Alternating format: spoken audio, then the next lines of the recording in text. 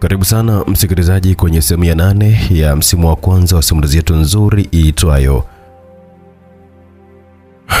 Yatapita tu. Katika sehemu iliyopita tulishia pale ambapo Amili alikuwa ametoka kule kupokelewa uwanja wa ndege akawa ameelekea nyumbani kwao uh, kina Atanasi mara baada ya kupigiwa simu kwamba huko kulikuwa kuna jambo ambalo lilikuwa limetokea, lakini Amili baada ya kufika kukuta ndugu zake wote akamelalamika sana kwamba Love, mbona hivi jamani? Unajua kwamba ulinitisha sana, kwa nini tunadanganyana tena siku kama hizi? Kabla Tanasi hajajibu, alijibu Mheshimiwa Gombwe, usimseme mimi ndo nilikuwa nimepanga naye hili kuanzia ofisini na sikutaka akuambie. Sasa sasa mipango ilikamilika, Ameida Mwebi binti huyo hapa. Huyu naye muona mbele yako hapa ni shekhe wa kufungisha ndoa, jambo lipite hili, hakuna kona kona tena. Amedipozi likamwisha kabaka medua, ndipo Sheikh akamuuliza, bwana Amiri, upo tayari tuchome ubani ndoa ifungwe? Amiri alikaa kimya, ndipo akamtizama Samira ambaye naye ndiye kama mtu wake aliyekuwa anamsikiliza sana, wala atampe neno. Samira akampa ishara kaka yake ambayo iliashiria kwamba hapo ndipo tulikuwa tumeishia msikilizaji, katika sehemu iliyopita. Tuende katika sehemu ya nane kujua ni kiliendelea. Mamu Mahudi ndo mtunzi wa simulizi yetu tamu kweli kweli, atapita YouTube channel simulizi Mix and application S Mix Up. WhatsApp ni 0677062012. Tuende pamoja kujua nini kilijili katika mwendelezo wa simulizi yetu tamu kweli kweli, yatapita. Samira alimpa ishara kaka yake ambaye iliashiria kwamba akubali. Samira alitikisa kichwa kinyonge sana kumaanisha kaka yake akubali tu kumwoa Nima. Basi Amira akakubali, ndipo Shia kama amemtaka akae chini na mipango ya ndoa haraka sana ikamilike. Amiri Gombwe, umekubali kumwoa Anima Somba kwa mahali mliokubaliana katika nyakati zote za maisha? Amira kanyamaza kimya kwanza, akifikiria Pleti ambaye leo kapata taarifa kwamba ni mjamzito. Pia alimfikiria baba yake ambaye ndiye kafanya yote hayo. Akakumbuka na mdogo wake Samira, jinsi ambavyo alikuwa amempa ishara kubali. Mwisho wa siku akaona kweli anatakiwa kufanya maamuzi magumu ya kukubali tu. Basi baada ya Amili kukubali, ndipo Atanasi kama kaka wa binti Anima akaongozwa kwa ajili ya kufungisha ndoa. Mimi Atanasi Somba na kuozesha dada yangu Anima Somba kwa mahali tuliyokubaliana. Mimi Amili Gombwe nakubali kumwoa Anima Somba kwa mahali tuliyokubaliana. Nimekuozesha, nimemuoa.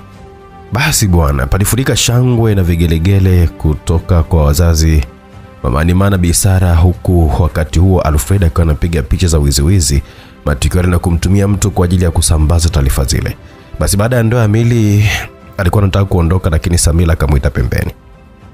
Kaka, hakuna katito aliyependa ili usionyeshe hasira sawa. Samila, umenisaliti mdogo wangu. Na hizo ulikuwa unajua kabisa kwamba nini ambacho kinaendelea huku kuniambia, si ndio?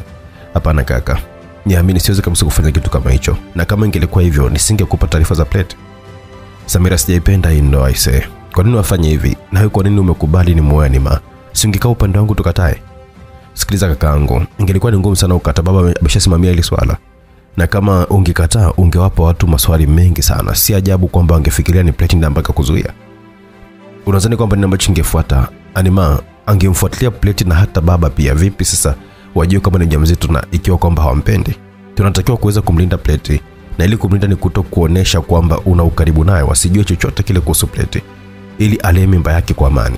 Kuhusu Pleti, mimi nitakuwa naye karibu, hata kuonana kwenu nitakuwa na, na kinga katika hilo mpaka pale baba atakapokuwa amefungua moyo wake na kumwamini Pleti ni mwanamke. Wewe kaka, madam tu, si kosa hata kisheria, sawa? Amili alimkumbatia mdogo wake yule ambaye kwa alichokuwa amemwelezea aliona kwamba ni sawa. Haya, nitahitaji kwenda kuonana na Pleti, sitamwambia chochote kile, lazima nionane naye we baki tuna Anima hapa, mtaondoka naye. Wakiniulizia waambie kwamba nimepata simu ya dharura, lazima nionane na Plate, natumia usafiri wa kawaida. Sawa kaka. amerindipa kaondoka zake na Samila akawa amerudi ndani kuungana na wanafamilia kula chakula pamoja. Samila alipokuwa amefika ndani, hapo ndipo baba yake akamuuliza, Amiri uko wapi? Ametoka kidogo kaenda makao makuu ya klabu yao, maana muda ule mnatupigia simu alikuwa hajamaliza, ikabidi aache, kwa hiyo kwa atakuja nyumbani kule. Oh, oh, sawa. Kwa hiyo sisi hapa tunaondoka na Anima kwenda nyumbani, atakuja kule, si ndio?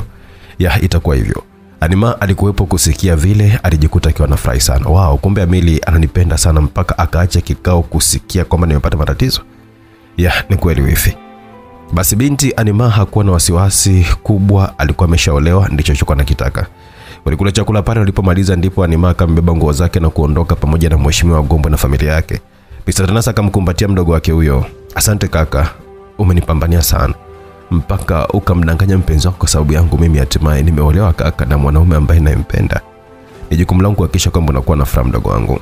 Nenda, kila la heri, japo namuona Samila kanuni akachukia sijawahi kumdanganya mimi, lakini ilibidi tu nifanye hivyo kwa ajili yako wewe. Yatapita kaka, atakuwa sawa tu. Basi ndipo Anima akawa ameagana tena na mama yake na kuondoka zao. Mama Anima akabaki akiwa anamuaga binti yake huyo, yeye pamoja na Atanasi mpaka walipokuwa wametoweka katika upeo wa macho yao. Atanasi sijui kwa nini, lakini sani kama ndoa dada yako itakuwa na amani. Naona huyu mwanaume kama hamtaki Anima. Hapana, kama alitoa mahari na kila kitu ikashindikana kwa sababu ya matatizo yangu tu, sasa anastahili kuolewa. Tuwaombee tu watapendana. Sawa, nasubiria kwa kijana wangu huko, itakuwa ni kubwa na tutafurahi, si kama hii hapa. Mrembo sana mkwe wangu. Ni kweli mama yangu, itakuwa ni tofauti kwa sasa. Ana asila kidogo mkweo, baada ya wiki moja atakuwa sawa tu, na sisi tutakaa tutajadili ndoa yetu. Mwanamama huyo alifurahi, ndipo akawa ameingia zao ndani. Harusi imekwisha. Amiri alifika mpaka nyumbani kwa kina Pleti, ndipo akampigia simu Pleti. Binti alikuwepo macho ya jarara, ndipo kuona simu ile alihisi kwamba Amili amefika, akatoka nje na kumtaka mlinzi afungue geti. Kweli Amili aliingia mpaka ndani, kufika alimkumbatia Pleti. Umechelewa sana mme wangu, mbona uko peke yako? Yuko wapi Samira? Ah, usijali. Hongera sana Pleti wangu kwa hatua hii hapa na kuombea heri uje ujifungue salama. Nashukuru, hongera na wewe. Nahitaji zawadi moja tu kubwa katika kipindi hiki, ukaribu wako. Najua ni ngumu kwa sababu familia yako hawanitaki, wanajua kwamba umeniacha, lakini jitahidi basi uwe karibu na mimi. Usijali Pleti, nitajitahidi sana mke wangu. Naomba uamini kwamba nakupenda sana Pleti. Mpaka sasa sikutana mwanamke wa kumpenda kama navyokupenda na sidhani kabisa kama atatokea. Asante Pleti. Sawa, naomba ulale hapa kwetu leo Amiri. Ahili halina shaka Pleti. Binti akafurahi, ndipo kweli akaingia zao ndani. Kwa wakati ule wazazi wa Pleti walikuwa wamechoka na kwenda kulala, hivyo walibaki wenyewe tu wakila chakula, na alipomaliza akaenda kulala. Wakati huo Anima alifika mpaka nyumbani kwa Mheshimiwa Gombo, ndipo akapelekwa katika chumba cha Amili kwamba ndicho kitakuwa ni chumba chao kwa wakati watakapokuwa pale. Anima alijiweka sawa, binti akaoga na kuvaa mavazi ya usiku, kisha akawa amekaa kumsubiri mumewe. Alikaa mpaka watu wote wakaenda kulala majira saa sita, lakini yeye alikuwa macho. Akajaribu kupiga simu ya Amili, lakini aliambiwa kwamba ipatikani. Binti moyo ulianza kumuuma, ikabidi ampigie simu Samira. Aroifi, chumba chako kipi? Nataka kuja. Okay, ni jirani na cheno tu hapa upande wa kulia. Sawa. Anima akaenda chumbani kwa Samira. Wifi, hebu mpigie simu ya Amiri, mbona rudi? Mm, labda analala tu kampeni leo. Ni kawaida wao. Lakini ndio siku ya kwanza ya harusi. Kwa nini ulimpa taarifa kwamba unataka kuoe leo? Si umemshtikiza? Umeitaka leo ndoa kiulazima, kwa hiyo ukute kwamba alikuwa hajajiandaa kulala nyumbani leo na ana mambo yake star yule ujue. Wewe umelazimisha leo, kwa hiyo upambane tu. Nataka kulala na wewe kazini kesho. Sawa, usiku mwema. Hatimaye akatoka chumbani mule kurudi chumbani kwake, akaanza kulia binti. Atakuwa wapi Ameli? Au plate hiyo kamrudisha mikononi mwake? Hapana, angelikuwa plate asingekubali kunioa, au ana wanawake wengine? Akajiuliza binti pasina majibu. Basi asubuhi Ameli akiwa amelala na Pleti ndipo waliamshwa na simu ya Pasco ambaye alikuwa anampigia dada yake Pleti. Wakamka wote pamoja, ndipo Pleti akawa ile simu. Halo kaka, za asubuhi. Nzuri, umeingia mtandaoni leo? Hapana, ndo unaniamsha hapa na simu yako, kuna nini? Amiri kaoa jana usiku, hivi tunavyoongea yupo honeymoon. Pleti akashtuka kwanza, akakata simu naye akawa ameingia mtandaoni. Binti ndipo alipokuwa amekuta picha zimesambaza ndoa yao zimewekwa X na kusambaza picha zilizomwonyesha Amili anaoa mwanamke mwingine ambaye alikuwa ni Anima. Wakati huo Amili alikuwa pembeni, ndipo Pleta akampa simu aangalie kinachoendelea. Amili alipoona pozi ikamwisha, huku Pleta akiwa anaangua kilio. Mke wangu jamani, ah, sijui hata niseme nini. Nisikilize Pleta, ni kweli ndio sababu nikawa nimechelewa kuja hapa, nisamee mke wangu. Baba ametaka iwe hivyo. Fikiria, nimemwacha leo kalala peke yake, nimekuja kwako, nisamee mke wangu. Ondoka Amiri, niache. Kweli nilijua kwamba itatokea tu, lakini sikujua kama nitaumia kiasi hiki. Jiandae uondoke Ameliondoka. Akaongea kwa hasira Pleti huku akilia sana. Amili akaona asizidi kumuumiza Pleti, hivyo aliamka akaingia bafuni na kujimwagia maji, kisha akajiandaa akaondoka zake. Basi habari zile alipoziona Mheshimiwa Gombwe akajikuta na furahi akijua kwamba Pleti atakuwa hoi na ataacha kumfuatilia kijana wake. Hata Bisara na kijana wake walifurahi sana na kuona hapo wamekata mzizi wa Amiri na Pleti. Halikadhalika binti animali alifurahi akijua Plete akiona habari zile zitamuumiza sana. Wakati huo Samira alizipata habari zile akiwa ndo anatoka kwenda kazini baada ya kaka Amili kumpigia simu. Usijali kaka Plete, kwa sasa hivi tumwache, atakuwa na maumivu. Jioni nitaenda kuonana naye, nitaongea naye tu. E, ikitokea waandishi wa habari wamekutafuta, kubali na uoneshe umefurahia, upo kawaida tu. Basi alikubaliana iwe hivyo. Siku ile kufika jioni, ndipo Samila akaenda nyumbani kwa kina Pleti kuzungumza naye. Haikuwa rahisi Pleti kuelewa, ambapo alionyesha ana wivu mkubwa sana na staili haya wifi. Amili ameniumiza sana isen, nitavumilia sababu nampenda, nitalipia haya wifi. Hapana, hiyo ni kwa usalama wako Pleti, naomba unielewe. Samila akamweleza kila kitu Pleti kwamba kwa nini imekuwa hivyo. Pleti alielewa, lakini wivu juu ya mume wake kuwa na mwanamke mwingine ndo ulimtesa na haikuwa rahisi kukubali. Basi wakati huo Anima alikuwa zake nyumbani kule ambako alimkuta jikoni msichana wa kazi akipika, akaomba kumsaidia. Msichana yule alikubali, ndipo Anima akaingia jikoni. Mara alifika Bisara na kumkuta Anima akiandaa viungo apike. He, bibi harusi jamani, unapika mwenyewe hata saba bado? au mumu ndani ana shida mama. Leo Amili atarudi nadhani. Mm, mwanangu, unajichosha na huyo Amili. Mwanaume kakuacha usiku wa kwanza kabisa wa ndoa bado una- unakurupukia jikoni kwa kwa ajili yake. kwa nini usiangalie mwanaume anayekupenda ukamkazania asiyekupenda? Mm, kupenda mastaa kutawatokea puani. Haya, mapishi mema. Animari umia kwa maneno yale ya Bisara, alipata uchungu naye kwa upande wake. Kwa wanawake, nina swali kwenu aisee. Vaa husika utuambie kwa upande wako kati ya Brett na Anima nani anapitia wakati mgumu zaidi. Andika kwenye comment hapo chini msikilizaji, tukiwa tunaendelea kufuatilia sehemu ya nane ya msimu wa kwanza wa simulizi yetu inayokwenda kwa jina la Yatapita tu. Samira baada ya kuzungumza na Brett ndio akawa anatoka na kuondoka. Kufika getini akawa amekutana na Pasco naye akiwa anafika. Habari yako Samira? Asante kwa upendo wako dadangu. Licha ya kuwa kaka yako ameoa mke mwingine, lakini bado una upendo kwa dadangu. Samira akamtazama Pasco kuona cha kumjibu, akaamua kumpita na kuondoka zake. Pasco alibaki akiwa anamtazama Samira huku akiwa anatabasamu. Mpango wa kwanza umefeli. Uh, bado huyo bwege anakupa jeuli. Subiri tuone na huu ujao kama utanusurika. Samila, utarudi kwangu na utakuwa mama wa watoto wangu mimi, alijisemea Pasco, kisha sasa akawa ameingia zake ndani kwao. Kufika nimkuta Preta akiwa amekaa zake sebleni, macho amevimba shauli ya kulia sana.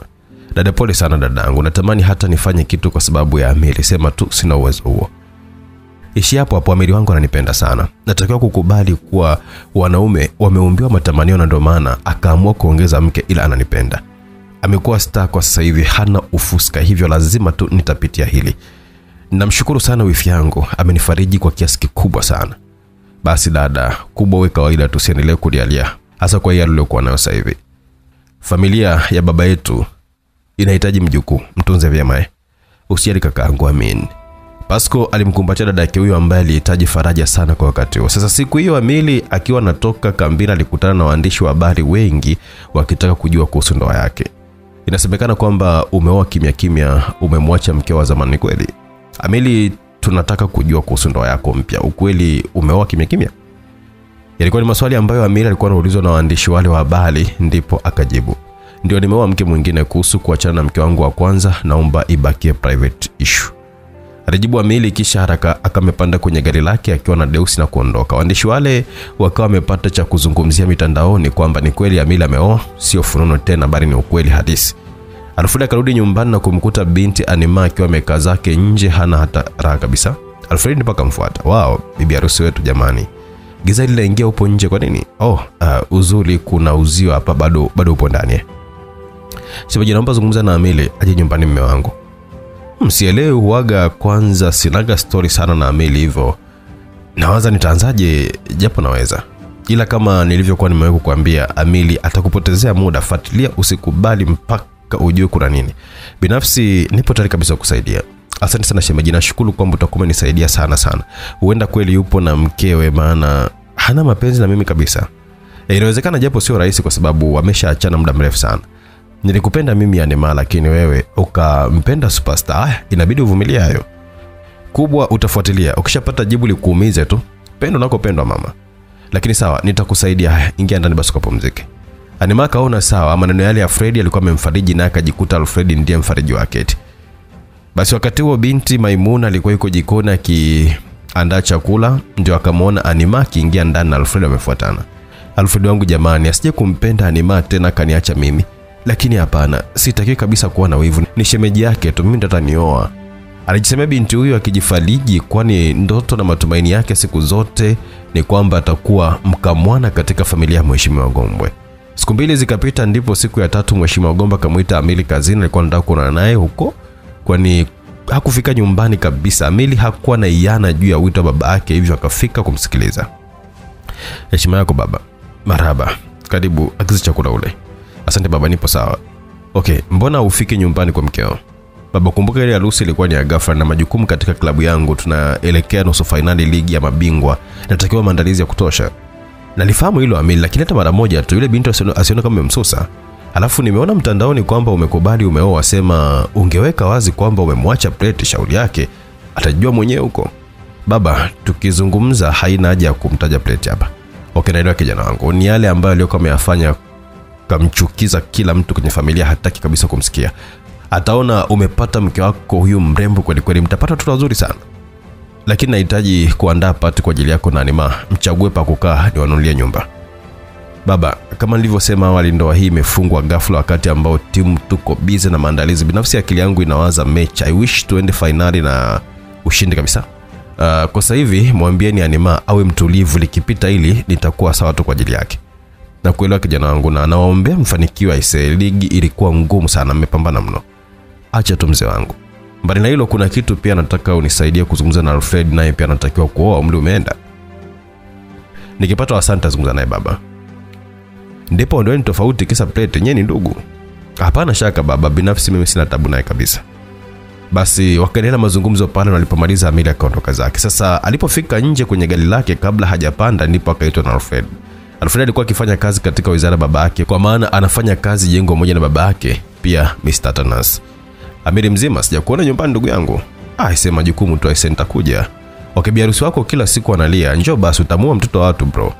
Kanipa ujumbe wako, kasema kwamba urudi nyumbani. Mwambie kwamba nitakuja kwa ajili yake, na wewe pia nina ujumbe wako, utafute mke uowe, muda unaenda. Uache kuona unatumwa tumwa tu na watu kama hivi. Alimaliza kuzungumza hayo Amili, kisha akawa amepanda gari na kuondoka zake. Alfred alibaki akicheka kwa dharau, kisha akawa ameamua kurudi ndani ili aendelee na majukumu yake.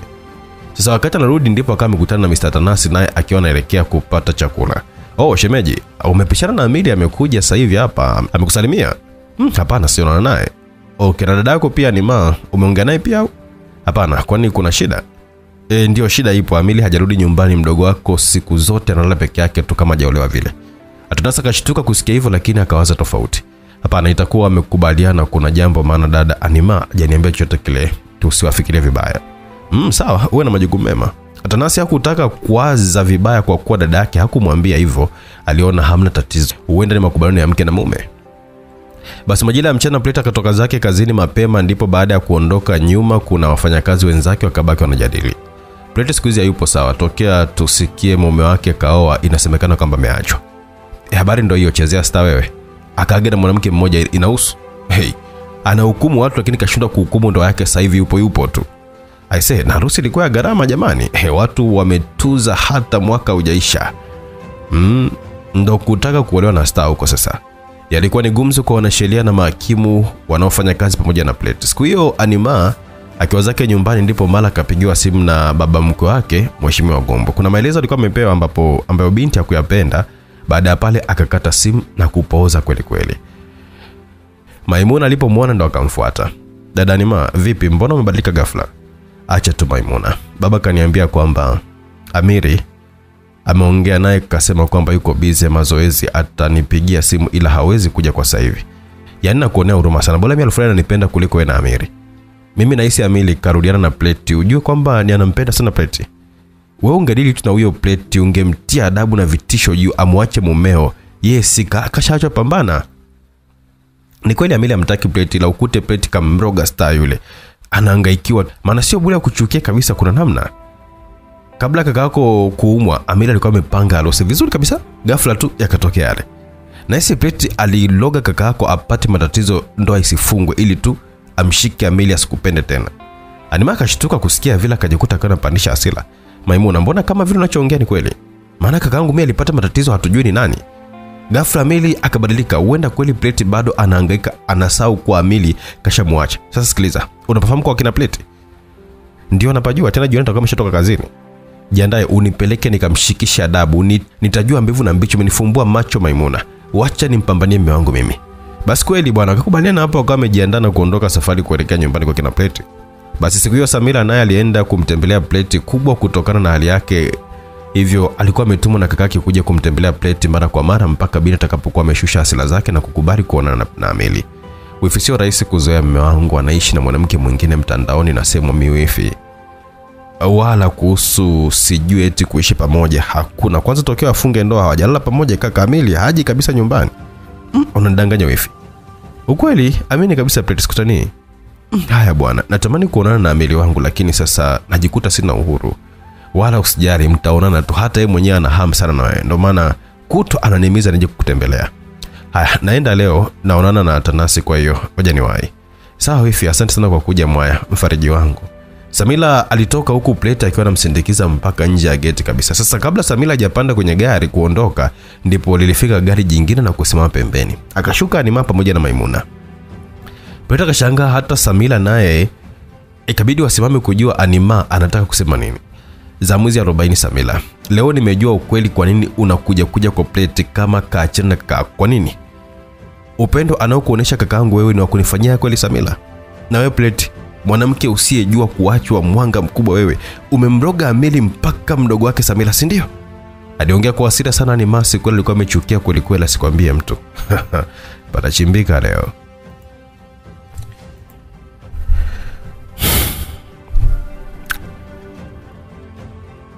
Samira alitaka kumsogelea Nima kwa jazba, lakini Brett akamzuia. Hapana wifi, mwache, ni wifi yako pia na ana haki ya kuzungumza haya, uacha amalizane na mimi aliyenifuata kwetu. Brett Sandipa kama Nima, unapata pia ujasiri wa kuja kwetu na kuniongelea maneno kama hayo kwa sababu ya mwanaume ambao umemjua akiwa tayari na maisha yake. Unasahau kwamba unayeongea naye hapa mbele yako ni mwanamke ambaye nilimjua tokea akiwa ni amiri wa zamani, sio sasa hivi. Oh, safi sana, umekasirika kumkuta Samira hapa. Ina maana kwenu ndivyo mlivyokuwa mmefundishwa kwamba hata kama ukitengana na mtu unatakiwa kuwa na uadui na familia yake. Samila niliishi naye vizuri, haijalishi kwa sasa hivi nipo kwenye mazingira gani, still tutaendelea kuonana ikiwa nimeolewa na kaka yake. Punguza makasiriko, badala yake pambana na hali yako kama mimi ninavyopambana na kwa sasa hivi, sawa? Oh, maneno mazuri, si ndio?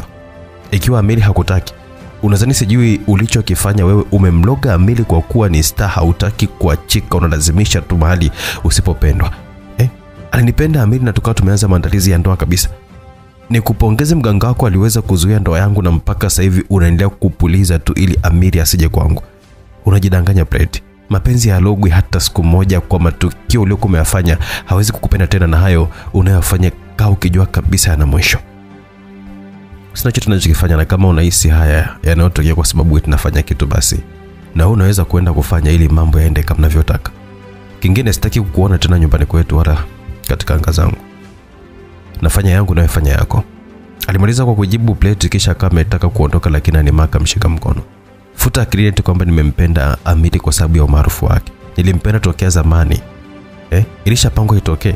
Naendelea kufuata kadri nitakavyo mpaka pale utakapokuwa umekaa mbali na mume wangu. Usidili na mimi binti, dili na huyo ambaye unamuita mumeo na unasema kwamba anakupenda. Na iwe mwanzo na mwisho kushika mkono wangu. Njoo tena na fujo zako hapa, uone kama hujatokea gerezani. Peter kama ametoa mkono wake kwa nguvu kisha kama ameondoka na kuingia zake ndani. Kamtazama akamtazama Anima akaona amwache tu kama alivyokuwa ameambiwa na Plate. Samira naye akaamua kupanda gari lake na kuondoka zake. Anima na Maimuna pia walikwenda kupanda gari waliokuwa wamekuja nalo ambalo ni la nyumbani tu. Alichukia sana Anima. Unaona sada dada Anima, hiki tulichokiona ni ukweli. Kwa nini Samira aje hapa kwa Plate kama kaachana na kaka yake? Akauliza Maimuna, ndipo wakati huo Anima machozi alikuwa akimtoka.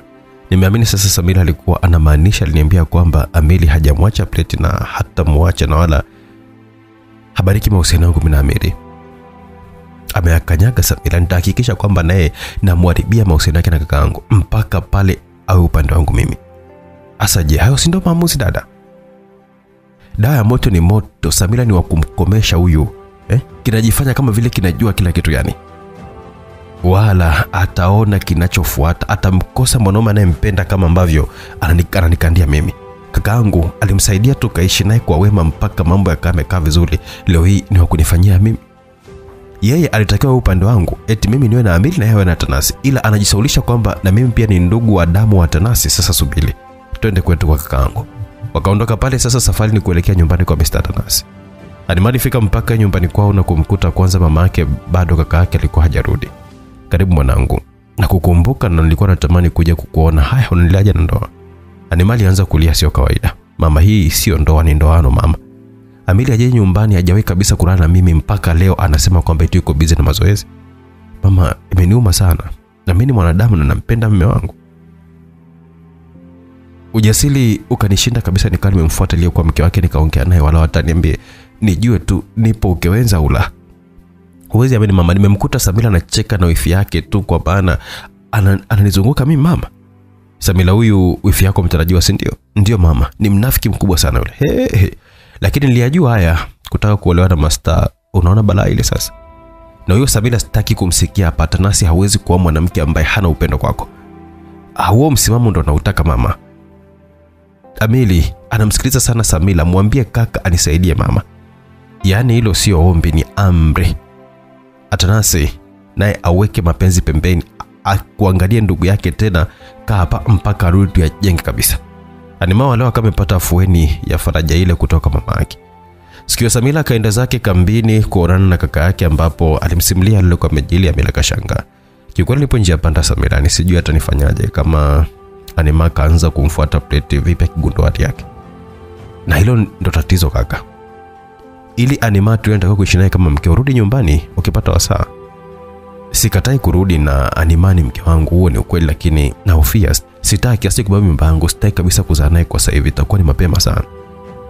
Sio kisa mimi ni maarufu basi ndo nizaezae tu na kila mwanamke. Naangalia mwana mwanamke pia. Mpaka sasa hivi mwenye sifa hiyo ni plate peke yake. Japo nimeona wengi ndani na nje ya nchi, hivyo sihitaji asije kabeba mimba kwa sasa hivi, bado kwanza mpaka nione anafaa kuwa mama wa wanangu. Haniambie mdogo wangu, natokaje hapo? Bora ngelikuwa ni kimada tu mwanamke. Ningesema kwamba nitumia kinga, lakini nimeshafunga naye ndoa, itakuwa sio rahisi. Samira kacheka kusikia vile kwani alizoeana na kaka yake huyo kiasi kwamba kila mmoja alikuwa huru kwa mwenzie. Oh, kumbe shida niyo kaka. Sasa kwa nini usiniambie mimi daktari niko hapa? Eh? Hilo linawezekana kabisa. Samila akamwinamia kaka yake na kumwambia jambo kimya kimya na kisha Amili akaonekanika kufurahi. Basi majira ya usiku wa Neema ndipo akarudi nyumbani na kumkuta Alfred akiwa yuko nje ambaye alimwomba kuzungumza naye. Shemeji kwema, nimerudi mapema nikaambiwa kwamba haupo ulienda. Ulienda wapi shemeji? Pana shida au? Acha tu shemeji. Nahangaika ndoa yangu leo aise uzalendo umenishinda. Nikamfuata plate nimegombana naye sana aise. Oh, kwani sasa shemu hata ungeniambia basi nikakushauri plate hana issues yoyote yule zaidi umeenda kumpa kichwa tu. Acha tu shemeji. Nimemkuta yupo na Samila, hebu niambie wana ukaribu kiasi gani? Samira na kielele sana mambo ya watu yule. Mimi namfahamu vizuri sana dadangu yule. Ataona sasa nimetoka kwetu nimeongea na kaka atalipa katika hili. Apia sio mbaya ila tambua kama mapenzi yana nguvu. Anima inawezekana isiwe kama unavyokuwa dhania. Niko mimi hapa Alfred naweza kukuliwaza tu wakati kuna msubiri mumeo nami na ni mtoto wa wazili pia. Akaongea Alfred kisha akamkonyeza Anima na kuondoka zake. Anima alibaki kimya tuna kumtazama Alfred. Wiki mbili zikapita ambapo Amiri na timu yake walisafiri katika michuano ya nusu fainali katika ligi ya mabingwa huku alifanikiwa kupata point na kuiwezesha timu yake kuingia katika fainali. Baada ya mechi hiyo ndipo akarudi nchini kwa furaha isiyokuwa na kifani. Basi alivyorudi ndipo akawa amekuta babake Mheshimiwa Gomba ameandaa pati kwa ajili yake na mkewe. Pati ilikuwa ni ya kuwapa zawadi kwani alikuwa amefunga ndoa pasina kuwapa zawadi yote. Siku hiyo ndo Amili alifika nyumbani na kukutana na mkewe huyo Anima ambaye alifurahi kweli kweli. Mheshimiwa Gombe aliwapatia zawadi ya hati ya nyumba kwa maana aliwanunulia nyumba nzuri yenye kusheheni kila kitu. Sherehe ilihudhuriwa na waandishi wa habari ambao walikuwa wakimhoji Amiri na zaidi kutaka kujua ndoa yake ya kwanza. Siku ile Animali alifurahi mpaka basi akajikuta akiwa na sau muda aliokuwa amekaa mbali na Amiri mpaka akaanza kupanga mipango ambayo kwa sasa hivi iliyayuka. Usiku ule Animali alikuwa amepata kufurahia ndoa yake pamoja na mume wake huyo.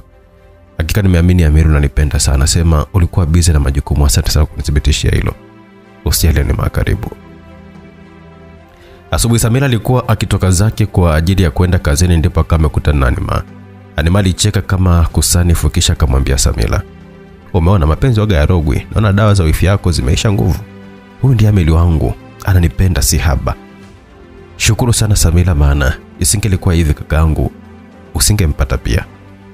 Wifi, fikia mahali uwe mstaarabu. Huyo kakako unayesema kwamba nisingekuwa naye, una habari kwamba kanivalisha pete wiki iliyopita? Angalia na hakukuambia sababu ya huo ujinga wako ulioenda kumwambia. Nilijua kila kitu kilichokuwa umekifanya, sema sikukwambia tu kwa sababu sikutaka nami kuwa mjinga.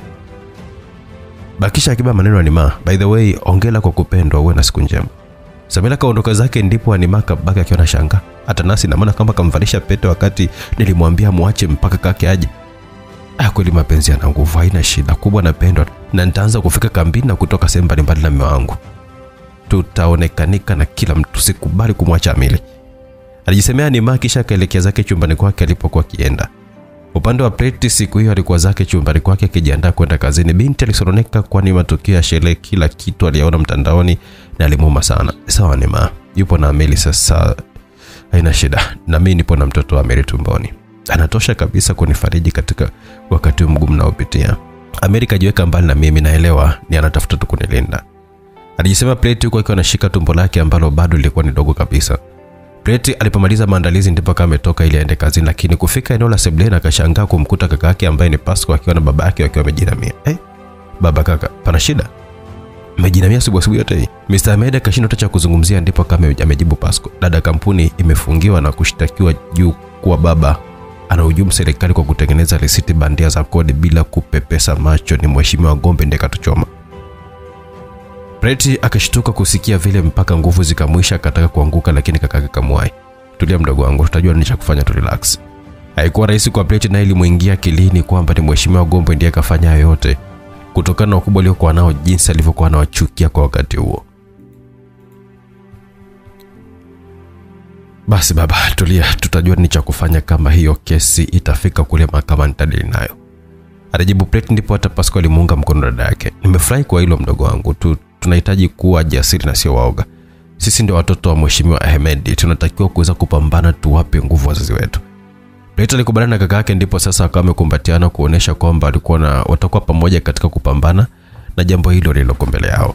Siku tatu zilipita, ndipo Mr. Meda akawa amefunguliwa kesi hiyo ya kuhujumu. Faini yake iliyokuwa ni kiasi kikubwa sana cha pesa. Plato alijitahidi kadri awezavyo kuzungumza na mahakimu wenzake kusaidia kesi ile kupelekwa mbele kwa muda. Nia ni kuweza kuwapa muda wa kutafuta pesa hizo wazilipe. Kwa wakati huo kampuni ilikuwa imefungwa, hivyo vyanzo vya pesa vilikuwa vimefungiwa. Taarifa zile zikamfikia mheshimiwa Gombo, ina maana kumbe si yeye aliyekuwa amefanya mipango hiyo, na sasa ndipo akawa amesikia. Mheshimiwa Gombo alikumbuka kwamba kumbe kipindi kile cha nyuma kesi kama hizo zilikuwa zikimkumba sana Mr. Emedi. Siwezi kumsaidia tena kwa sasa hivi, itakavyokuwa acha iwe.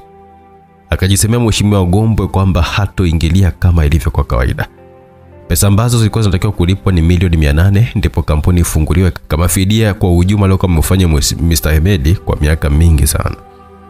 Brita akachanganyikiwa, alichoweza kukifanya ni kuzidi kuipeleka kesi hiyo mbele. Kaka yake ambaye ni Pasco ndipo siku hiyo alimwambia mdogo wake, Preti, mambo yanakuwa magumu sana, tusipoangalia hapa tutampoteza baba yetu pamoja na kampuni, tutaishi vipi? Kiasi changu na cha baba kilichopo kwenye akaunti ni kama milioni 150, bado sana. Wazo langu ni uzungumze na Amili, naye akazungumza na baba yake atusaidie. Tunaomba tupo chini ya miguu yake, kwamba wakati huu tutalipa pesa na si kufanya uhujumu. Kaka, na mimi nilikuwa nimewaza, lakini hapana. Mheshimiwa Gomba anachojua ni kwamba Amili ameachana na mimi na wala hatuna mazungumzo. Sasa tukimtumia Amili hapa, ataanzia wapi kumwambia babake? Si atajua kwamba anawasiliana na mimi? Mimi na wazo niende kuzungumza na Mheshimiwa Gombe mwenyewe. Mdogo, uone kama atakuletea shida kwa sababu hakutaki. Ajalishi kaka, ni shida yetu, nitakwenda maana najitahidi sana kupambana na hii kesi, lakini sio rahisi. Wacha nitakwenda kuzungumza na Mheshimiwa Gombe, nitamfuata kwa ustaarabu sana, na mimi utanielewa. Sawa, hiyo nakuombea ufanikiwe mdogo wangu, na utafanikiwa tu. Asante sana kaka yangu. Basi kweli, siku iliyofuata Mheshimiwa Gombe akiwa zake ofisini kwake akaonana na watu mbalimbali, ndipo aliingia binti Pleti. Mheshimiwa Gombe akashangaa kumwona. Heshima yako baba, wasemaje Pleti? Baba, nimekuja, nipo chini ya miguu yako, tuna matatizo, naomba utusaidie kwa mara nyingine tena. Mm, kuhusu baba yako za mwezi ni arobaini. Wewe si ni hakimu na upo, naona mpaka hapa ilipofikia ni wewe, maana alitakiwa awe ameshahukumiwa zamani sana. Nilimbeba sana kwa kujua kwamba ni mwenzangu. Awali alikuwa ni kama rafiki na baadaye tulikuwa kama ndugu kwa sababu yako wewe Alfred. Lakini kwa familia yenu mlichonifanyia wanangu, bado na wewe pia na uchafu uliokuja kukufanya ese. Sitaki kabisa atakuwaona. Nashukuru kijana wangu Amili amekuacha na sasa hivi anam, ana mke mwingine. Nashukuru kwamba wanaishi vizuri sana. Sina cha kuwasaidia. Tumia cheo chako kama hakimu, japo ukisimamia sheria babako ni wajela na mtafilisika wala mtaacha roho mbaya. Simama kisha utoke ofisini kwangu Pleti, alafu iwe mwanzo na mwisho kukanyaga hapa. Toka kwa ile kabla sijatumia nguvu. Pleti hakuongeza neno, taratibu binti akawa ameinuka na kuondoka zake. Preti machozi alimtoka, ndipo akawa ameondoka kwa kilia sana. Mara alikutana na Alfredi katika mlango mkuu wa kutokea nje akiwa na Atanasi. Oh, Preti vipi? Mbona lia? Kutesa kwa zamu Preti, Sasa hivi hauna soko kabisa. Abedi kashawa mke mwingine na wanapendana, na hata mimi sina hamu tena na wewe Preti. wala hata ningekustiri eti. Poleni kwa changamoto ya babako na kampuni yenu. Oh, unapambana sana Hakimu. Haya, nenda. Aliongea kwa kusanifu sana Alfred. Pleti hakujibu kitu, akaamua kuondoka zake. Pleti akaumia sana, ndipo alipofika karibu na mlango alihisi kizunguzungu kutokana na jinsi alivyokuwa analia, ndipo alianguka mpaka chini. Fredi pamoja na Tanasi waliona tukio lile, ndipo haraka sana ikabidi wasogee. Alfredi alimkagua na kuona moyo wake kama unaenda mbio sana. Laka Alfred akawa ameagiza walinzi waje kumbeba na kumpeleka katika hospitali ndogo ambayo haikuwa mbali na eneo la jirani na sehemu ile. Kweli walinzi walifika na kumbeba. Tanasi alimsii sana Alfred na wao pia waende, kwani pamoja na yote wanatakiwa kuweza kumfanyia binadamu. Preti alibebwa mpaka katika hospitali hiyo ndogo na kufika akawekwa mapumziko kwa ajili ya huduma ya kwanza kuanza. Huyu kapata presha kwanza ya kuachwa na Amili. Pili kaona na mimi pia sina mpango naye, funga kazi, kesi imeongea kwenye familia yao, yaani lazima umwe. Akaongea Alfred, ndipo Atanasa akajibu, anapitia wakati mgumu, lakini anatakiwa kujikaza tu, yatapita. Ah, huyu wache amkute alichonifanyia shemu, acha twaise. Kaniweka miaka miwili namsubiria yeye tu, washajutie. Atanasa kaona nyamaze tu, pamoja na kuwa dada yake ndiye akaolewa na Amili, lakini bado alionekanika kuwa na utu na huruma kwa Pleti. Basi baada ya muda mfupi alitoka nesi ambaye alikuwa amefanya vipimo vya awali na kuwakuta Alfred na Atanasi.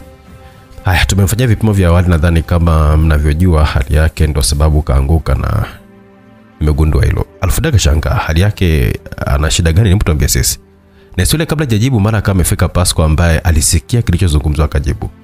Ndio dadangu ana pressure siku hizi ndio maana nimemfuata nilipokuwa nimesikia kwamba amekuja huku na kuambia kwamba kilichotokea. Mimi ndio kaka na plate. Alfred kuona hivyo akamtaka Tanasi waondoke zao kwani hawakuona sababu ya kubaki ikiwa Pasco amekuja. Baada ya kina Fred kuondoka ndipo Pasco akamwambia Nesi yule, natambua dada yangu ni mjamzito vipi? Umeambia watu? Hapana, nilikuwa sijaambia bado. Oh, afadhali usiwaambie. Vipi dada yangu anaendeaje? Hajambo, lakini anahitaji utulivu. Ataruhusiwa punde, lakini hataki kufanya kazi, apumzike tu. Haya, sawa, nashukuru. Nipe bili nilipe. Walimaliza mazungumzo hayo na Nesa kama endelea na shughuli zake. Sasa majira ya usiku, mheshimiwa Gombe akiwa nyumbani na familia yake, mpaka Amili mwenyewe alikuwepo siku hiyo. Walikuwa wakipata chakula cha pamoja, ndipo Amila akamwomba ruhusa baba yake kwamba ahame na mkeo waende katika nyumba ambayo baba alikuwa amewazawadia. Asante, haina shida, nawatakia tu maisha yenye baraka sana tena, na sasa hivi tutaangalia ndoa ya Samila naye pia namwona binti yangu kavalishwa pete. Samila akatabasamu kusikia vile. Mheshimiwa Gombwe ndipo akawasimulia leo. Uh, Preti kaja ofisini eti ananililia niwasaidie kesi yao yamewakuta huko. baba yake atafungwa safari zaidi kabisa, nataka kumsaidia zaidi, atapeleka tu siku mbili lakini atakamatika tu. Wote wakashangaa, hata Samila katazamana na kaka yake Ameli chini chini kuonesha kwamba ameshangazwa na habari zile. Afuriani paka ameongeza mazungumzo, yaani sasa alipotoka kuzungumza nawe baba katoka nalia hajiwezi mpaka kaanguka, lakini tukamfanyia msaada mimi na Tanasi tukampeleka ile hospitali ya pembeni pale. Kakake ndo akaja pale, nasemekana kwamba itana pressure na bado mbona atapata rifafu mwaka huu. Watu walicheka familia nzima, lakini Samira na Amili wao walitazamana tu. Kuna namna walikuwa wanamaanisha wao bana eh. Basi bana, baada ya chakula kuisha, Mila akawa ameenda zake mpaka chumbani kwake na kushika simu cha kwanza kumwandikia SMS plate kumtaka wakutane kuna mahali ndipo wakati wa Nima alikuwa zake jikoni akichukua juisi katika friji kwa ajili ya mumewe. Marafiki akamemfuata Nima na kumwambia mm, naona sasa una furaha kwa ulichokuwa umekisikia kuhusu Preti. Mm, hapana Fred, simaanishi kwamba tunajisikia vizuri kusikia plate na matatizo, ila nimejisikia vizuri kwa maana nimejiridhisha kwamba Amili hana mpango tena na Preti. Ndio hata mimi nakwambia, maana mpaka Preti kaamua kumfuata baba ampe msaada, ina maana kwamba kashindwa kuzungumza na Amiri. Ah, wewe acha tu nimefurahi kiukweli, sema tu huyu Samila ndo ambaye anaonekanika bado namfuatafuata Pleti, lakini hainishtui. kubwa. Amili amefanya maamuzi kama mwanaume ya hilo kweli. Nawatakia furaha katika ndoa yenu, maana mnahama hapa sasa. Nimekubali wewe ni wa Amiri. Asante sana shemeji, na wewe nakuombea upate mwanamke mtakayependana. Yupo mwalimu mwenzangu, huja nikianza kuenda kazini nitamweleza. Wow, nitafurahi sana shemeji, na mimi sasa hivi nahitaji kupata mchumba ni waise nijenge familia. Ni kweli kabisa shemeji. Basi walipomaliza mazungumzo ndipo Anima akaelekea zake chumbani kwake na Alfredi pia akaelekea chumbani kwake. Anima alipofika katika usawa wa chumba cha Samila akamsikia binti akizungumza na simu, ndipo ikabidi asogee asikie vizuri. Alisikia maneno machache ambayo hakuweza kuyaelewa kuwa ni nani alikuwa anazungumza na Samila. Mm, tulia moyo, angalia moyo wa mumeo anakupenda sana, achana na Samila. alijisemea Nima kisha akaamua kuelekea chumbani kwa mumewe. Sasa siku iliyofuata majira ya jioni, Peter alifika katika hoteli fulani. Hakutumia gari lake, alikodi taksi ya kawaida. Aliingia moja kwa moja mpaka eneo la ndani alipafahamu. Akafika sehemu na kumkuta Amili. Amili, umenita hapa, unataka kuniambia nini? Ni mume wa mtu wewe? Ndio, ni mme wa mtu, mimi ukiwemo wewe Plet. Kwa nini sasa unapitia haya pasi na kuniambia?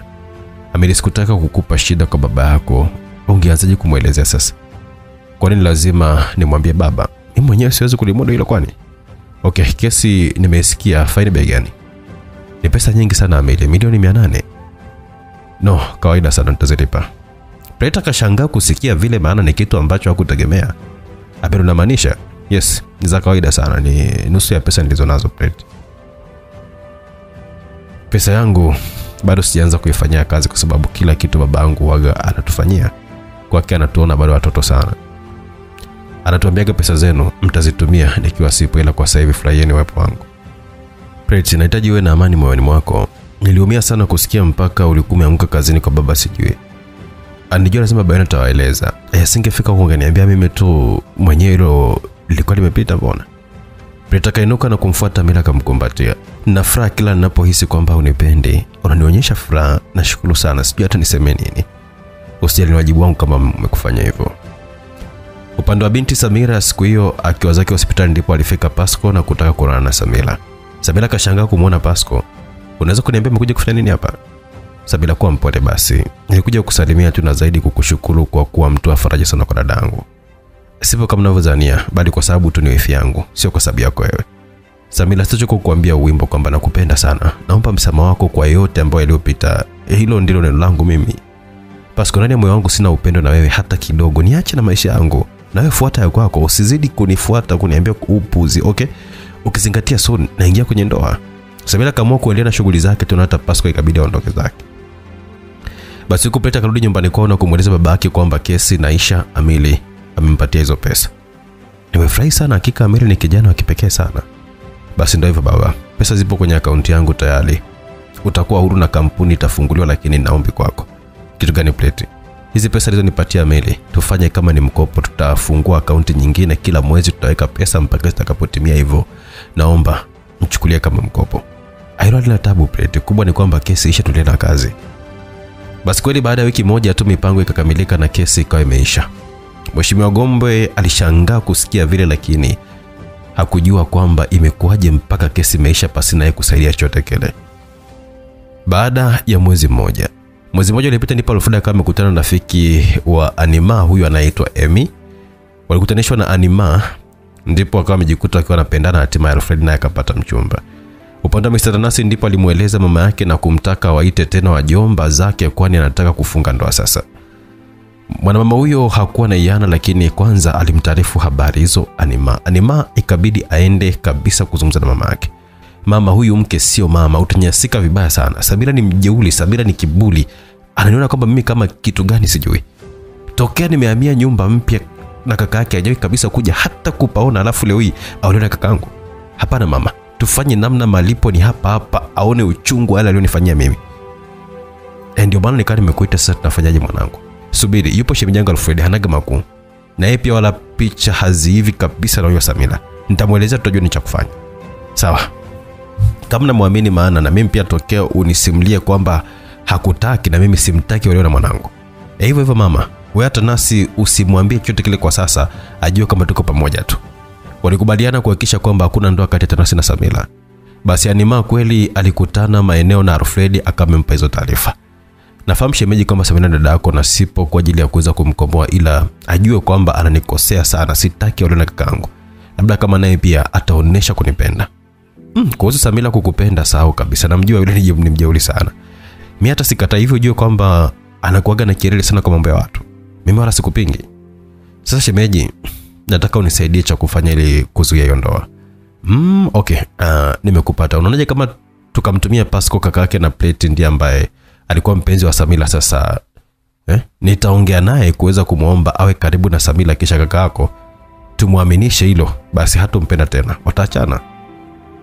Basi sawa, zungumza na huyo Pasco maana bila shaka atakuwa anamjua vizuri sana Samira, rahisi kabisa kumwingia. na atakubali bila shaka. Nitajua namna ya kuweza kumwambia tu, na hii itasaidia ibakie ndoa yangu tu na Emi, na mimi nataka kuoa. Wao, raha sana jamani. Basi walikubaliana sasa, kazi kabaki na Rofedi kwamba kuzungumza na Pasco. Baada ya siku tatu kupita, ndipo siku hiyo Maimuna alienda hospitali ambapo anafanya kazi Samila. Binti kufika kaomba kuonana na Dr. Samila, ndipo akaambiwa kwamba wakati huo yupo chumba kingine anaonana na, na wajawazito ambao yeye ndiye daktari wao. Maimuna ilibidi akae mahali karibu na chumba cha daktari Samila kumsubiria arudi. Kwenye muda kidogo ulipita, ndipo Maimuna akamwona kwa mbali Samila akiwa na Preti. Binti akashangaa, Preti bado anawasiliana na Samira au? Alafu mbona anaonekanika kule nilipoambiwa Samira anaonana na wajawazito? Ina maana kwamba Preti naye ni mjamzito au? Alijiuliza Maimuna, lakini akakosa jibu. Ikabidi aendelee kutulia tu hapo hapo alipokuwa, ukizingatia naye alikuwa na maswaibu yake. Baada ya Samira kuzungumza na Preti pamoja na watu wengine, ndipo akarudi eneo la chumba chake na kumkuta Maimuna akiwa anamsubiri. Oh, Maimuna, karibu, umefika muda? Hapana, ni mida hii tu. Okay, nilikuwa naona wajawazito huko uh, ambao mimi ndo daktari wao. Sawa, lakini nimekuja, nina shida, sijisikii vizuri, na ni wiki sasa sijaona tena siku zangu, naogopa, nisaidie. Siku zako tambo lisafishwa baada ya mimba kutoka, kwa hiyo mzunguko unakuwa haujakaa sawa, ila pia kama ulikutana na mwanaume, uwezekano wa kupata mimba upo. Samuel Alfred bado alikuwa akiendelea kunitumia tu. Baada ya siku tatu kupita tokea itokee ile tatizo, alianza kunitumia tena. Eh, makubwa na ukakubali tena. Mwanaume hajataka kuzaa na wewe, akakutoa mimba, bado ukaendelea nampenda Alfredi, sikutaka kumpoteza Samila. Haya, ndio ushampoteza Samana, anaoa karibuni, ndoa zetu zitakuwa ziko pamoja. Hebu tufanye vipimo kwanza tujue. Samila ndipo akamwandikia vipimo Maimuna na kumtaka aende maabara. Maimuna alienda kufanya vipimo hivyo na baadaye akarudisha majibu kwa Samila. Samila aliyasoma majibu yale, ndipo akashanga, Yanaonesha kwamba una mimba tena. Na mimi kuangalia tu, ni kweli kabisa una mimba wewe, una hatari sana, ujue. Nisaidie Samila, sitaki tena kufanya dhambi ukimwambia Alfredi atakutoa tena. Sasa nyamaza, safari napeleka taarifa kwa baba yake ajue tabia za mwanae. Hawezi kabisa kuwa anakutumia ovyo ovyo. Nisaidie Samila, nitashukuru sana sana sana mdogo wangu. Ngoja tuendelee, mwambie kitu tafadhali. Basi alikubaliana hapo, ndipo Maimuna kama ameondoka zake, lakini alikuwa na maswali juu ya kumwona Pleti mahali hapo. Unaona bana. Ilikuwa ni asubuhi majira ya saa nne ndipo Pasco akiwa ofisini kwake, ndipo kuna mgeni alifika. Mgeni huyo alikuwa si mwingine bali Alfredi. Pasco alishangaa kumwona. Karibu Alfredi, sikutegemea uwepo wako hapa. Ah, kuna mambo yakitokea na kubidi tukutane kama hivi wanaume sisi, kwema tu, usiwe na hofu. Oh, okay, sawa, karibu sana. Asante, nashukuru. Alfredi ndipo akawa amekaa na Pasco alionyesha utayari wa kutaka kujua ambacho Alfredi anataka kusema. Pasco, nimekufuata kwa sababu na, uh, tunafahamu kwamba uliwahi kuwa katika mahusiano na Samira kuna kazi nataka unisaidie. Pasco akashangaa kusikia vile. Kazi gani tena ikiwa wewe Samira ni dada yako, unataka nini tena? Mm, sio mimi, ni huyo mpenzi wake Atanasi ndo hatutaki aolewe na Atanasi kama kumkomoa tu, maana Samira anajifanya mjuaji sana. Ili anataka mke wa Amiri wa sasa. Haina haja ya kujua sababu ni ipi, ila naomba tu msaada wako. Huo msaada wangu unaohitaji ni aina gani? Yaani nifanye nini mimi? Nataka uwe karibu na Samira alafu tumchonganishe na huyo mwanaume wake anayetaka kumwoa tena ili aumie zaidi, ili ikiwa imekaribia harusi yake. Tunafunga ndoa siku moja ya mimi naoa naye anaolewa.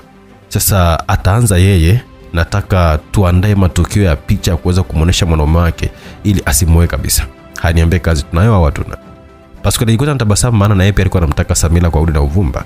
Jamani, mpaka hapo kazi tunayo, nipo tayari kufanya hiyo kazi bila hata malipo. Ah, mwamba kama mwamba, hapo sasa ndio umecheza Pascal aise. Ujue mambo yaliyotokea kwa Pleti yasiwe sababu ya sisi kukosana. Of course Pleti dada yako ni mjinga sana, ndio maana Amerika wa mwanamke mwingine. Yeye mwenyewe alikuwa ametembea na mimi siku chache kabla ya ndoa yake, anaona sasa. Kwa hiyo makosa yake sisi hayatuhusu kabisa eh? Pascal kanyamaza tu, maana anajua kinachoendelea kati ya Amiri na Pleti, lakini naye alikuwa amehusiwa kwamba hataki kuzungumza chochote kile. Kwa hiyo hapo alijali mambo yake tu yaende. Wakapanga mipango yao na walipokubaliana ndipo Alfred akawa ameondoka zake. Pasco alibaki haamini kabisa yani. Jamani, ukisikia bahati ya mtende ndo hii sasa. Kazi ya plate oh jamani, I can't wait. Alijikuta akiwa anafurahi sana Pasco. Siku hiyo mheshimiwa Ugombe akiwa kazini kwake ndipo alifika binti yake Samira. Binti anaenda muda wa chakula cha mchana kwa maana alikusudia kula pamoja na babake. Samila mwanangu, karibu. Nimefurahi sana maana wewe huwaga si mpenzi sana wa kuja hapa. hapana baba wala si shida hata hivyo uh, kuna kitu ambacho nataka kukuambia. Mm, sawa agiza chakula utakachokuwa kitaka kisha tukae tuzungumze bila shaka kuhusu harusi yako. Mm, baba jamani. Ah, bwana bwana atanasi ameshatangaza nia na mimi kiukweli nimempitisha kabisa. Atanasi ni kijana mwema sana anafaa kabisa kabisa yani. Nashukuru baba. Ya ndoa yenu itakuwa ni siku moja na kaka alfred nataka mtaa usimame siku hiyo jamani baba tuombe uzima. Waliagiza chakula pale ndipo akawa wanaendelea kula samila akamwambia babake baba kuna tabia ya mwanao alfredi kiukweli sijaipenda kabisa. Mm, samila kwa nini? Na kwa nini haumwiti kama yule ni kaka yako? Haya amefanya nini labda? Baba amempa ujauzito maimuna kwa mara ya kwanza akamtoa. What? Ilikuwa lini hiyo? Alfred anawezaje kufanya hivyo? Kwa nini hakuniambia mapema? Mm, nilijua kwamba ni bahati mbaya baba pengine ataacha lakini kwa mara ya pili tena akampa ujauzito maimuna alfredi hajui na nimemwambia maimuna asimwambie maana akisema tu atamtoa tena. Nikaona sasa nikuambie hii tabia mwanao wai anamtumia maimuna? Kwa hiyo unataka kuniambia maimuna ni mjamzito? Ndio baba. Kwa mara ya pili tena kanasa ujauzito alfredi itabidi amuoe maana jina langu ni kubwa sana. Vipi ikionekanika kwamba tumemtetekeza damu yetu? Aa, sina mjukuu mpaka sasa hivi natamani sana sana kupata na mimi wajukuu wa kucheza nao. Atamwoa. Ametaka hajataka baba sio kama mnavyodhania atakataa mwanao ni jeuri sana yule. Naweza tutumie njia mbadala siku ya ndoa. Badala ya kumwoa yule mwanamke wake kwanza amwoe maimuna iwe kama fundisho kwake. Baba ni kosa kufanya kosa lakini si kurudia kosa. Hizo ni kusudi sasa. Nilifanyiwa huo unyanyasaji sitaki tena kuona mwanamke mwenzako kana anafanyiwa vitu kama hivyo. Na kama usemavyo baba wewe ni mtu mkubwa vipi kama ionekanike mwanao anawatoa mimba wanawake na kuwatelekeza? Sawa samira nimekuelewa. Tutafanya kama hivyo ulivyosema. Angemwacha ile mara kwanza tungeelewa kwamba ni bahati mbaya. Ila kwa kurudia mara ya pili hizo ni kusudi kabisa. Najivunia samira yangu na utu binti yangu. Asante baba. Pia nimefurahi uliposema kwamba unatamani wajukuu. Ni kweli utafurahi ukipata wajukuu? Hakika nitafurahi binti yangu. Haswa mjukuu wangu kwanza atakuwa ndo mrithi wangu ana zawadi yake maalum samila katabasamu maana ukweli anaofahamu kama ni hivyo basi tayari yupo pleti ambaye kama atafanikiwa kujifungua salama ndiye ataleta mjukuu wa kwanza kwa mheshimiwa gombwe. Sasa katika hali hiyo inatokea kila mmoja anamwandalia mwenzake mipango. Fredi anaungana na anima kuhakikisha kwamba samila afungi ndoa na tanasi huku samila naye anaungana na babake kuhakikisha kwamba alfredi anamwoa maimuna anamua maimuna bila kutaka yani titi for tati. Majira ya jioni animaa akaenda zake nyumbani kwa mheshimiwa gombwe kama kuwasalimia na pia alikuwa anahitaji kuzungumza na alfredi juu ya mpango wao. Kufika ndipo akamkuta alfredi wakakaa kwanza nje kuzungumza. Alfredi akamwelezea animaa kwamba ameshafanikiwa kuzungumza na pasco na kila kitu kitakuwa sawa. Jamani na furaha sana shepu wangu yani umenisaidia sana sana sana. Hata upe umenisaidia sana nima. Yani mpaka nami nimepata mwanamke wa kumoa nimefurahi mno sawa leo nimeomba ruhusa amili nataka niwapikie hapa fry lakini iwe ni siri yetu shema. Ah yani sisi tunajifanya kama vile hatujui kitu. Ndoa acha iandaliwe tu siku ya harusi. Mbona samila atafurahi mdomo na kilele chake kitamwisha? Hmm. walicheka sana limana alfred nipo kumaliza binti akawa ameingia zake ndani kuomba apike.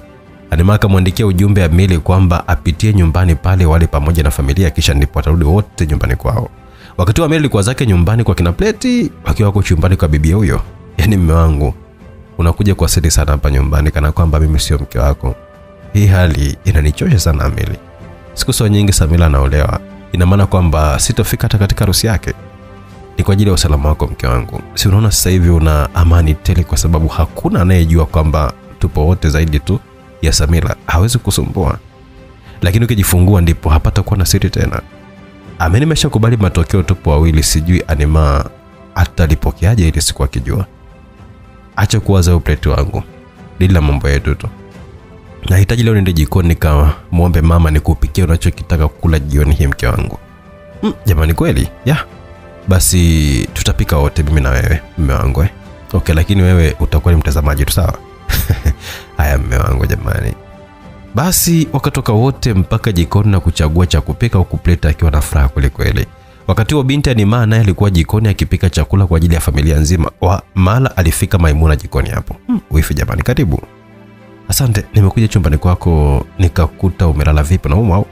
Amna, amna hata uchovu. Tulikuwa nataka jioni niamke kupika. Sawa, napika mishoga yangu. Waacha we. Naona sasa hivi una furaha sana na Amiri wako eh. Yaani Maimuna acha tu. Mkaka ana mahaba huyu. Nawaza hata kwa nini huyu pleti kakubali kumwacha kirahisi. Yaani mimi hapana ise kwa haraha hizi. Simwachi napambana nimzalie star wa mpira. Mm, shoga.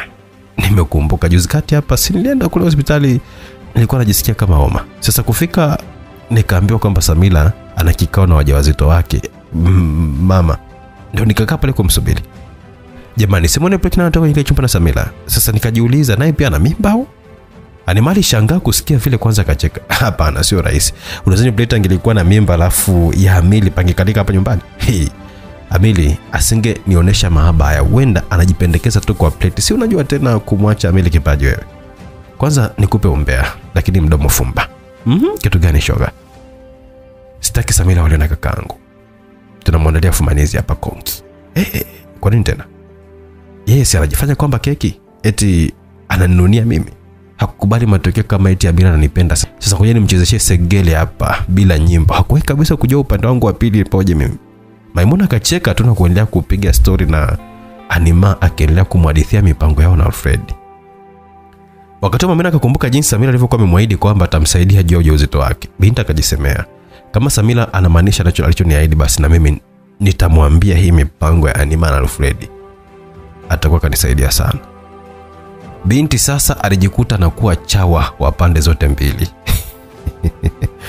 Hii tamu sana hiyo. Hii ni sehemu ya nane, msikilizaji, tumeishia hapo, nikimaanisha kwamba tutakuwa na sehemu ya tisa. Msimu wa kwanza utaishia sehemu ya kumi. Mambo yanazidi kunoga ise. Nani atakayeibuka kuwa nani? Sio umeelewa? Alfred yuko na Anima wa mchome Samira, Samira yuko na babake wa mchome Fredi, lakini Maimuna yuko pande zote mbili, yuko upande wa Samira, yuko upande wa kina nani, wakina Alfred. Alfred ndo mume wake unakumbuka.